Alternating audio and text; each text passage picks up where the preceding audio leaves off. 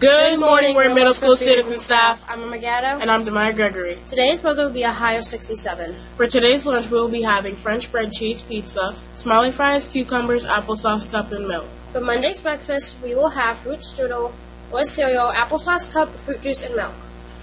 Lunch Monday is cheeseburger or breaded chicken sandwich, oven baked tater tots, savory baked beans, broccoli with cheese, mixed fruit cup, and milk. Today is chocolate cupcake day.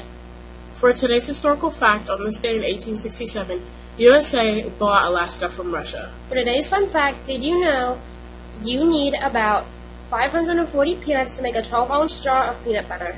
Football game has been changed from Wednesday to Tuesday next week. Picture day is Tuesday.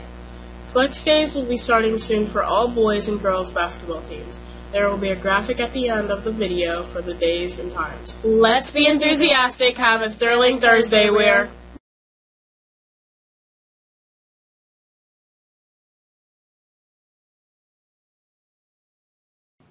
I pledge allegiance to the flag of the United States of America and to the republic for which it stands, one nation under God, indivisible, with liberty and justice for all.